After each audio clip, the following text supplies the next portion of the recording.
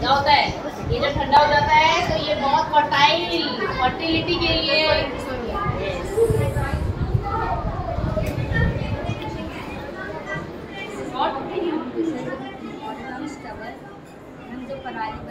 अच्छा अच्छा हम तो हर साल इतना परेशान होते हैं दिल्ली में। तो मास्क वास्क रखने देना दो चार लोग खड़े करने लेते हैं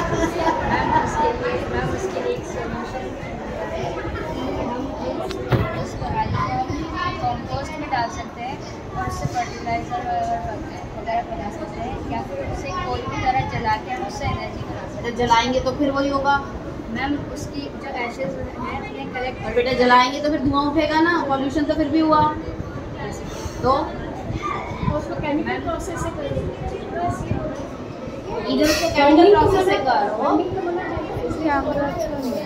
अरे यार मैं कोई नहीं मैं खींचता था अगर जलाते हो तो उसका जो धुआँ है, उस धुएँ का क्या यूज़ हो सकता है? क्या उसको कलेक्ट करके उससे कुछ बनाया जा सकता है? दिवाली पे मम्मी दिया रखती है ना, दीपक के ऊपर उसमें काला काला आ जाता है, वो काजल बना के लगाती है आँच में। और कहते हैं, बड़ा अच्छा होता है आँख की रोशनी के लिए।